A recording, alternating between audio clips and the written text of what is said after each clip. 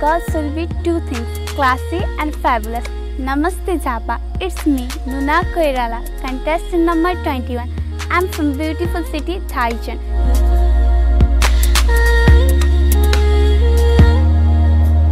Talking about my interest, I'm interested in traveling, playing, and drawing. My aim is to be a fashion designer. Fashion is about something that comes from within you. Fashion is the replication of your attitude and personality. Thank you.